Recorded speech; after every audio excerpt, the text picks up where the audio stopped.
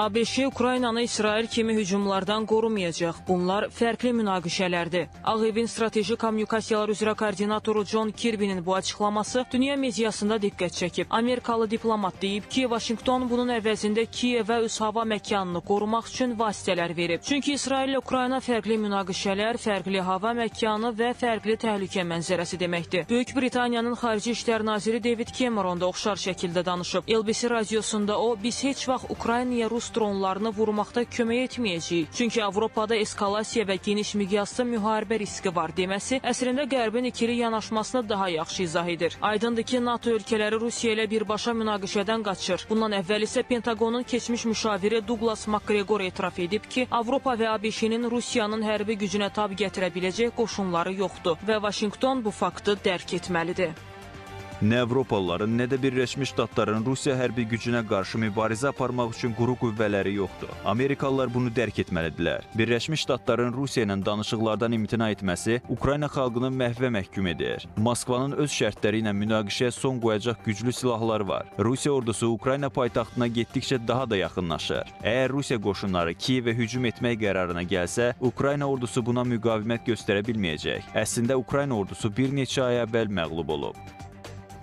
İsraillə bağlı vəziyyət isə bir qədər fərqlidir. İranın Təl-Əvivə hücumunun dəf edilməsində Birləşmiş Ştatlardan başqa Böyük Britaniya, Fransa və hətta İordaniya da kömək edib. Fransa prezidenti Emmanuel Macron etiraf edir ki, Paris aprelin 14-də İordaniyanın tələbi ilə İsraili hədəf alan İran raketləri və dronlarını zərərsizləşdirib. Müttəfiqlərin bu cür köməyi əslində İsrailin belə bir zərbəni fiziki olaraq tək başına dəf edə bilməməsi ilə bağlıdır. Müxtəlif hesablamalara görə ümumilikdə 400-dən çox hava hədəfi İsrailə doğru uçub, onların 99 faizi hədəfə çatmayıb və ya vurulub. Əlbəttə, Ukrayna bu cür yardımı ancaq xəyal edə bilər. Vəziyyətdən incik düşən Ukrayna prezidenti Volodimir Zelenski qərb ölkələrini İsraili müdafiə etdikləri kimi Ukraynanı da müdafiə etməyə çağırıb.